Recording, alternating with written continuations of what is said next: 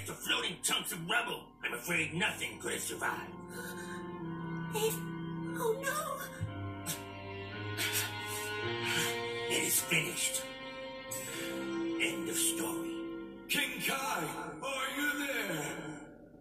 If I'm getting through to you at all, please respond. This is Kami speaking, Guardian of the Earth.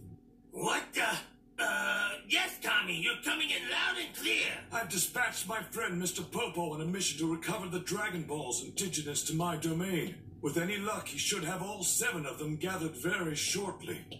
I see. If you wouldn't mind indulging my friends with your hospitality a bit longer, I should be able to get them out of your hair, so to speak, in just a little while. Alas, that arrangement necessarily excludes poor Chaozu, as this is his second, uh, well... Yes, of course. Huh? Oh, wait! I'm confused here. How is it you're still among the living? Ah, yes, yes, that. Well, I'd say by a stroke of absurd good fortune, given the sad fate of my race. But if you're alive, that can only mean that Piccolo has somehow managed to survive. Yes, given that he and I are inextricably bound, I take it you're aware that we were once a single entity. Of course! This is a very good sign.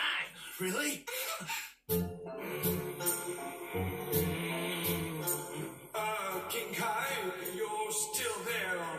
I'm afraid I'm not hearing anything. That is, if you're. Uh... Kindly let me concentrate! Oh, sorry. Aha!